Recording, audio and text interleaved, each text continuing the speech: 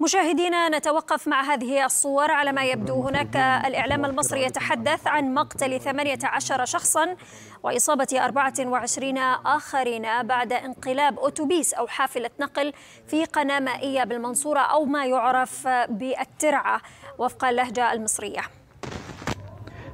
في انقلاب أتوبيس كان في ركاب حوالي 50 راكب تم انقلابهم في ترعة بجوار يعني مدينة أجا بمحافظة الدقهليه يعني لحد الآن انتشلوا 16 جثمان وما زال البحث جاري الآن من الإنقاذ النهري في ترعة أجا.